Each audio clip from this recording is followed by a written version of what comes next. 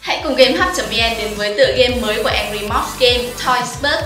Chúng ta sẽ trở thành những nhà chế tạo đồ chơi tài ba với khả năng đặc biệt. Nếu thấy đứa nào ngố mắt thì ném đồ chơi cho nó là nó sẽ bị biến luôn hình từ đó. Chẳng hạn như vứt nó cho thành con bê, nó sẽ biến thành con bò. Nhưng cũng có nhiều đứa mà mơ ước trở thành mấy thứ quái gở thì bạn có thể thể hiện lòng tốt bằng cách tương tự. Và tất nhiên sẽ có thế lực đen tối chống lại xuất hiện để nhân vật chính có việc mà làm.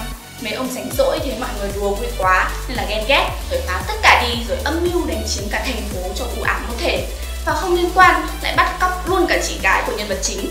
Nhờ luôn mua vui cho hàng xóm láng giềng nên chắc chắn là bạn sẽ được mọi người hô hào giúp đỡ. Và sẽ giúp đỡ ra sao?